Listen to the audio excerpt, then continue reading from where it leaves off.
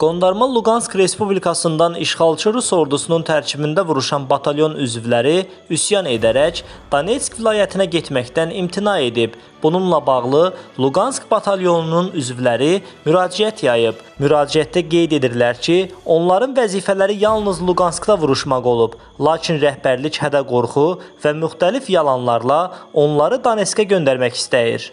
Мы, военнослужащие мобилизационного резерва батальона 2740, отказываемся идти воевать на территорию Донецкой Народной Республики. Свой долг по защите Луганской Народной Республики мы выполнили. День Победы был объявлен главой республики 3 июля 2022 года. Нас угрозами, шантажом, запугиванием и обманом пытаются загнать на территорию ДНР.